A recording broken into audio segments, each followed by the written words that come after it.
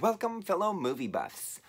I'm here to do a movie review for Charlie's Angels, and I wanted to do it Thursday night, so it would have been up yesterday, but I'm sorry it didn't work out that way just because it wasn't playing in my hometown theater until the Friday, which I'm angry about. So, the next movie that I want to review is also not playing in my hometown on the Thursday night, so again, it'll have to be a late one posted on Saturday. So hopefully that's okay with you. Now, let's jump in to the movie review for Charlie's Angels.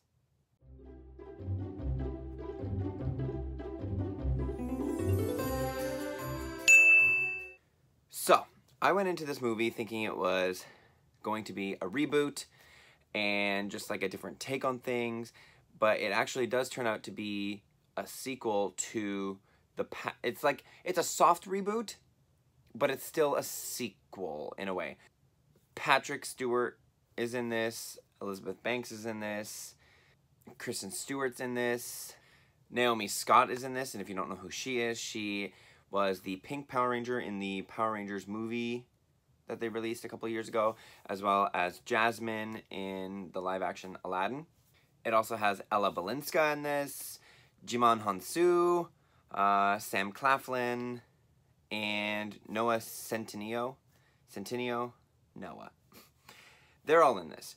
So, like I said, I went in expecting it to be a complete and utter reboot. Like, every movie beforehand doesn't count. But that's not the case. They do make some small references to the past films, um, both original as well as the Cameron Diaz, Lucy Liu, and Drew Barrymore one. Uh, which I actually did thoroughly enjoy. Patrick Stewart is John Bosley.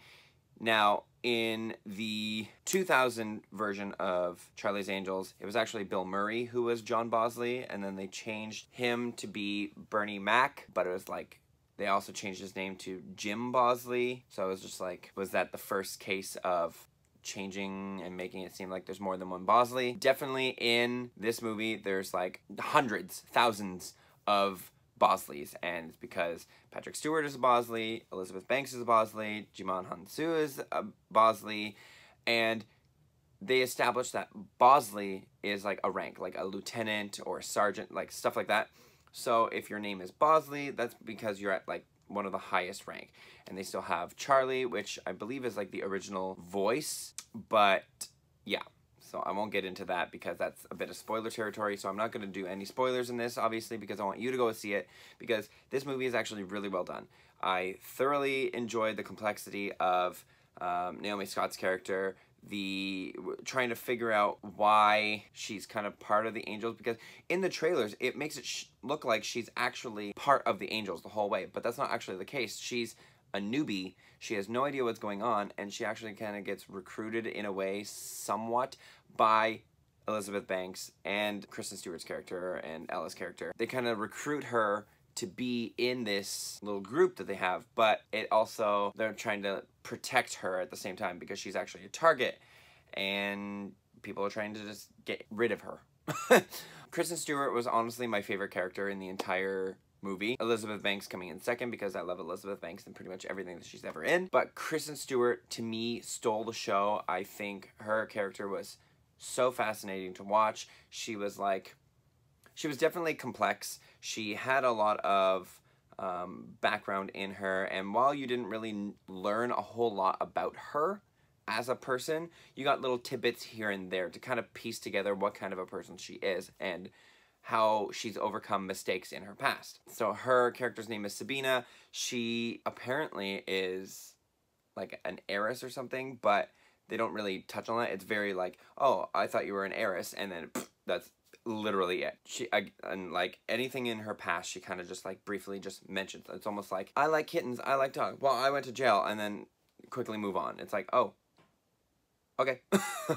so there's that. All of the action scenes were phenomenally done. The explosions, the gunfights, the actual hand-to-hand -hand combat fights, they were all well executed. And while you know for a fact that most of them were done with stunt doubles and stunt performers and all of these like trained people to do things, you can actually see some of the actual actresses in this doing the their own stunts and actually taking part in the fight scenes, which I thoroughly enjoy because there's not a lot of films nowadays that actually allow their actors and actresses to actually take part in the action scenes. It's always like someone else that's been trained to do all this stuff to come in and do all this stuff for them. So I'm just like, eh, let your actors give it a try. If you need to give them training, then train them to do the things properly. Ella's character as Jane was alright. I didn't hate her. She wasn't the best, but I didn't hate her. I actually enjoyed Naomi's character of I think her name was actually Ella in the movie. A lot more than Jane, just because she had more of a complex character than Jane. All we knew from Jane was that she was ex MI6.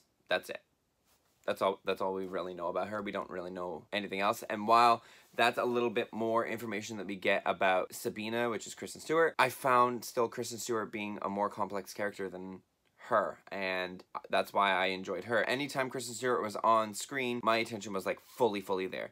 Not to say that my attention was away from the film at all, but it was just, I was just more into it every time Kristen Stewart was there just because I liked her character so much. She drew me into this film. So, soundtracks in the movie were great, effects great costuming great everything about this movie was honestly like a plus so i don't really have much of a negative thing to say about this when you find out who the bad guy is again you they give reasons behind it so you're not just like a little stretched out, but I kind of I kind of get it. There were some funny moments in it, some unexpected funny moments where you didn't think it was going to be funny, and then you're just like, oh, okay, that's funny, which I do like. I like the element of surprise in some of these type of roles. Yeah, I guess my only critique would have been I would have liked actual cameos from Cameron Diaz. Lucy Liu, Drew Barrymore. I would have loved to see one of them kind of just make like an appearance. Other than that, I think that might have been my only complaint about the film was that there was no true cameo. I mean, you deal with it. Obviously, they probably approached them to be like, hey, do you want to make a cameo? Or they probably went with them the original time and be like, hey, we're going to do another Charlie's Angels. Do you want to be in it so we can make a complete sequel? Or I don't know. I don't actually know the story behind creating this movie right now, but that being said, I'm just to end this review now. I'm not to hold you here forever. I'm giving this movie a 9 out of 10. I think this movie was really, really well done. I don't think they could have done it any better any other way. I'm definitely getting it as soon as it comes out. I just loved it and I really hope that they make a sequel to it because mid-credit, post-credit, during credit, I don't know scenes show like people being involved and like make it seem like it's going to have a continuation. So I do hope that's the case. If you haven't seen it, go watch it. It is going to be a fun, entertaining movie for sure. And yeah, so don't forget to like this video. Don't forget to comment down below letting me know if you saw it, if you're interested in seeing it, what movie I should review next. Don't forget to share the video. Don't forget to subscribe and hit the notification bell if you haven't already because that notification bell lets you know when I post out a new video. And I will see you on Tuesday with another Trailer Tuesday and next week as well for another movie review. And until then, see ya.